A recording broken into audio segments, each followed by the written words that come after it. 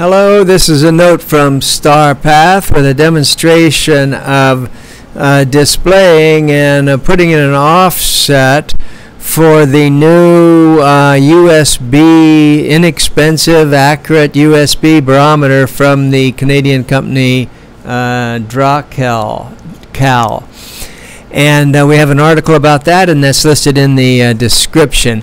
So here we have that uh, that USB barometer is plugged into a cable, and then it's plugged into the laptop.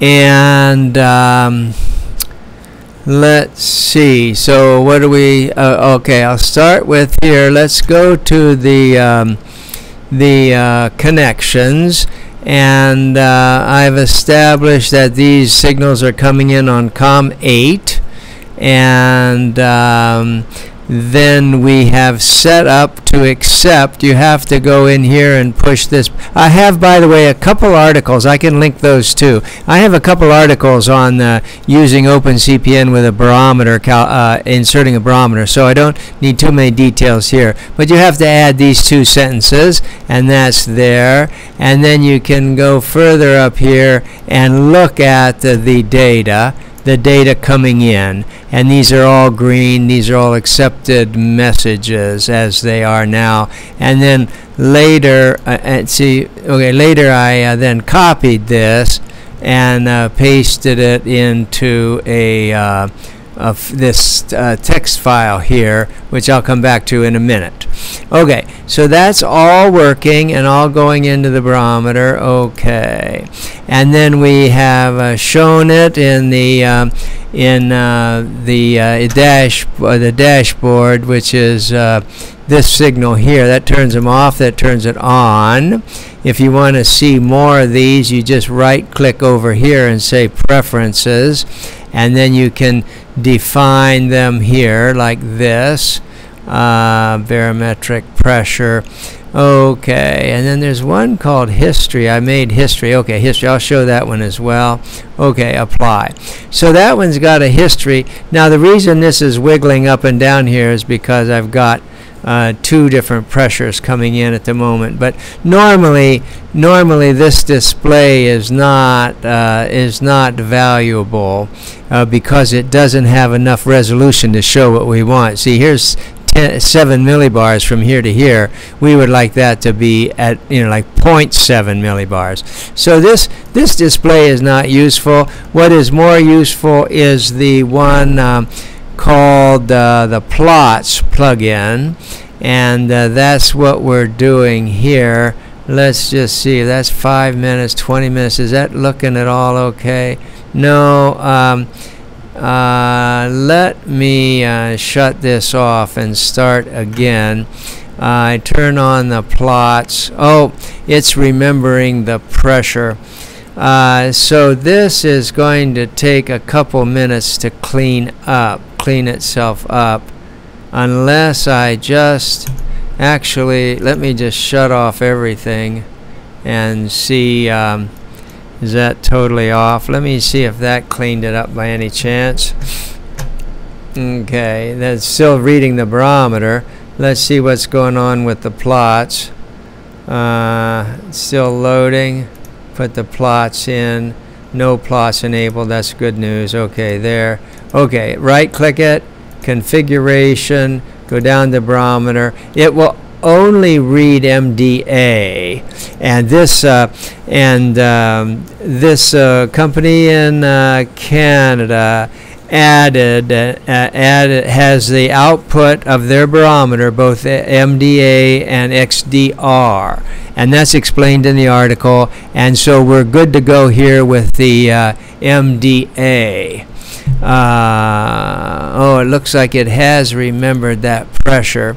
But anyway, here's the actual pressure here. I've been playing around with this offset. That's why that's jumping up and down. And that's what I want to show you. But if we look here, here's the pressure 1012.77 I mean 1012.8 again these decimals out here are not significant uh, we're looking at a, at a tenth here 1012.8 and that's this pressure here and that's over the time this is my horsing around with a well, I'm going to do the horsing around right now. It's the setting up the calibration. So we know from that article that this barometer reads um, reads a little bit high. The sensor reads a little bit high. They're all going to come out of the box within sort of one and a half millibars, but we want better than that, and we know we have to adjust this one by about 0.4. I think I've doubled that correction here to illustrate the point. But let's go in here to show you, again, I have two other videos about this, so I can just step through this with this new barometer.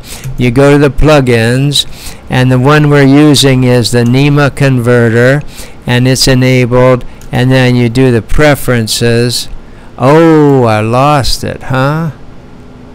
Oh, I did lose that. Ah, okay. So, that, well, that's fine. We have to put that back in. So, um, okay, let me just see if that's really true. Enable preferences. Oh, normally it'll save that. I don't know what happened. It lost it, but normally it does save that. So we're going to say new and then uh, we want it every second. And so now I have to go back to that piece of paper I had here. Uh, can I get to it? Uh, oh crying out loud. Okay cancel. Cancel. Cancel. Uh, can I move this? Oh okay. So here's the piece of paper I want. So here the sentences coming in the two sentences coming in XDR and MDA. We're not going to pay attention at all to the XDR. This is what I just copied out of the, uh, the, the setup page here. And so I want, this is the typical sentence coming in like that. And we're going to just rewrite that and make a new one. And you have to just take a note of what it looks like. This is a sentence, X, uh, YXMDA. The first one is 29.9 something.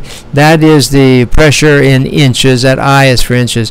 So we're going to make a new one where we've got, we're going to take whatever it was before, and that's uh, MDA1 and that's going to go here. Then it's an I, and then this number here is the pressure up to this comma.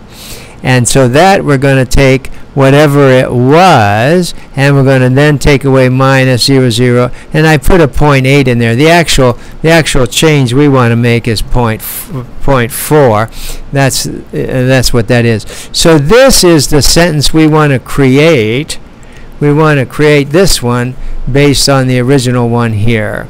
So I would come back to here. Uh, let's see.